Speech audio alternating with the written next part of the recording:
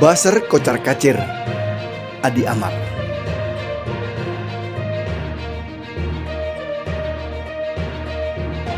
Bagai anak ayam kehilangan induknya.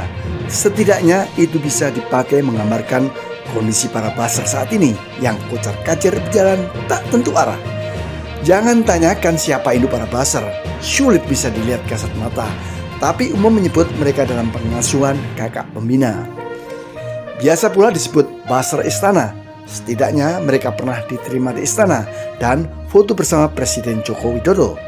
Lalu mereka dikonotasikan bekerja untuk kepentingan rezim. Tentu Kebenarannya sulit dibuktikan, seperti aroma kentut yang menyengat. Tapi satu hal yang jelas, para buzzer bekerja mendegradasi mereka yang mencoba melawan penguasa. Hari-hari ini kita melihat para buzzer yang tadinya berkawan erat kini saling serang. Satu pihak tampak membela Ganjar Pranowo, capres yang diusung PDIP dan P3. Pihak lainnya membela capres Prabowo Subianto yang diusung Gerindra PAN, Golkar, dan Demokrat. Sementara Capres Anies Baswedan yang diusung Nasdem, PKB, dan PKS luput dari sasaran pasar dan tambah paling siap berkontestasi di Pilpres 2024. Meski sebelumnya Anies dan Nasdem diganjal sana-sini, tapi justru mereka lah yang paling awal menentukan pasangan di Pilpres mendatang. Anies Baswedan dan Muhaimin Iskandar alias Caimin Amin.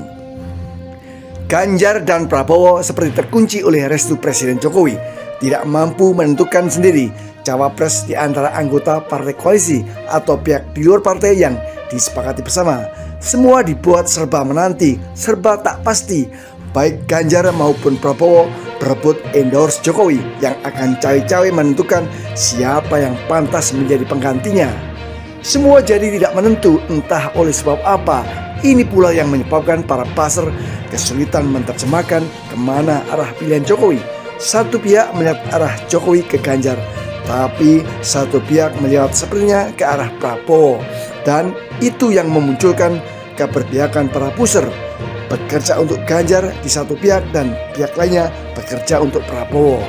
Sampai-sampai muncul baser kebablasan seperti Alifur Rahman Ashari, Sewot TV yang menghantam Prabowo ada yang mempercayai, ada pula sebaliknya. Meski tak menyebut nama, ia merujuk pada sosok Prabowo yang menampar dan mencekik Wakil Menteri Pertanian Harfiq Hasnul Holbi menjelang rapat kabinet terbatas. Kabar itu ia dapatkan dari sumber terpercaya. Kabar itu diperkuat Basar Gaik Rudi Eskamri dalam kanal anak bangsa TV miliknya yang tampil meyakinkan bahwa berita Prabowo menampar dan cekek Wamentan itu terkonfirmasi kebenarannya. Bahkan sampai menyebut Presiden Jokowi murka melihat insiden tersebut. Kali ini Alifur Rahman kena patunya. Basar yang tadinya khusus mengajar Anies lalu belakangan mengajar Prabowo dihantam dari segala penjuru. Sanggahan demi sanggahan muncul termasuk sanggahan dari Kementerian Pertanian dan Jokowi sendiri.